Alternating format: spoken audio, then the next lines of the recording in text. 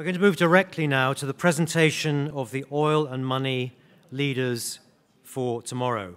The Leaders for Tomorrow initiative was launched back in 2013 to provide top selected graduates who've recently entered or who are about to enter the oil and gas workforce with scholarships so they could attend the Oil and Money Conference.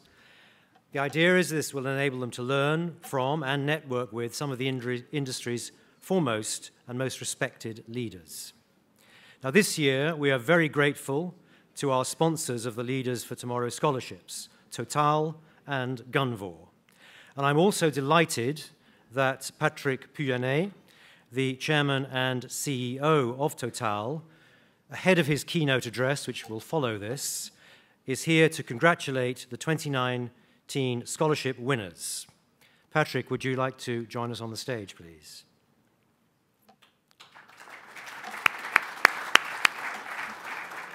And I would like to welcome on stage now Nicolas Delcor, Maria Diaz, Aina Jais, Evan Kveland, Claire Penny, James Olamo, Jordi Uzio, and Fan Yu.